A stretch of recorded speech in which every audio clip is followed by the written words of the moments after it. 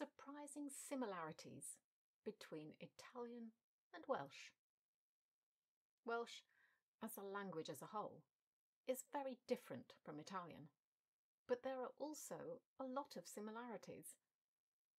Why would the two languages have similarities? Well, that's because the Romans conquered a large amount of our fair island, pretty much the entirety of England and Wales, and some of Scotland. According to English Heritage, link below, this started in 43 AD, and we were part of the empire until early 5th century AD, known as the province of Britannia. As a consequence, we have a lot of archaeological sites with Roman remains and some pretty straight major roads. Not a thing we're known for, in general. Latin, the official language under the occupation, bled into Welsh, as it did with English. We both stole the Latin alphabet, to varying degrees. Welsh uses 29 letters, including eight diagraphs, doubled up letters to produce different sounds from the individual letters. I don't know Latin, but I had thought at various points on my language journey that some of the sounds were quite similar to Italian. For a start, Welsh definitely has the tapped R sound. However, this alphabet would have been nothing if the Romans hadn't taught us to write. Yes, according to the BBC, before they invaded, we did very little writing.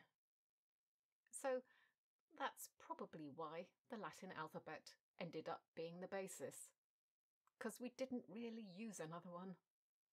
So, those words that are similar. Again, the BBC states that the borrowed words are mainly for things that didn't exist here before the Romans came, such as bridges we didn't have bridges before the Romans? The Welsh word for bridge is pont, and in modern Italian is ponte. Although it's often bont in Welsh because of the whole mutation thing. There's an extensive list of Latin based Welsh words on Wiktionary, but let's look at a few that are recognisable in modern Italian. Braich is an arm in Welsh, and it's braccio in Italian. Devil is diafol in Welsh.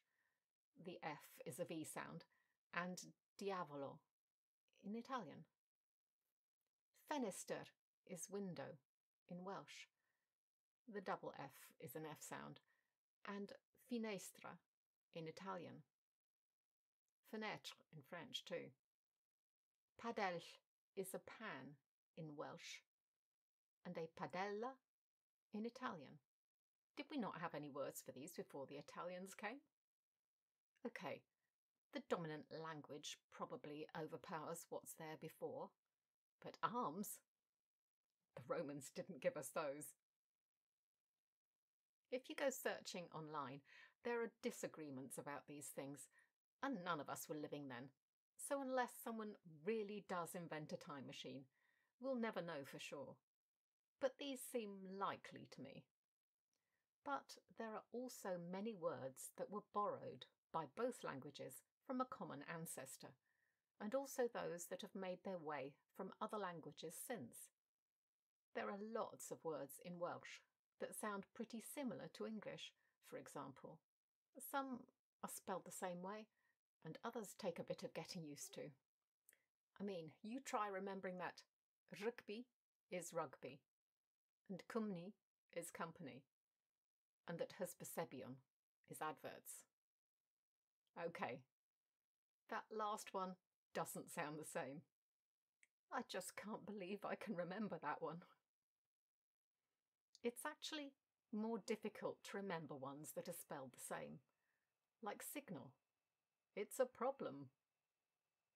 Which is also spelt the same. Were they borrowed from English? or did we both get them from the same source? Problema in Italian and Spanish. Problem in French. Probably Latin again.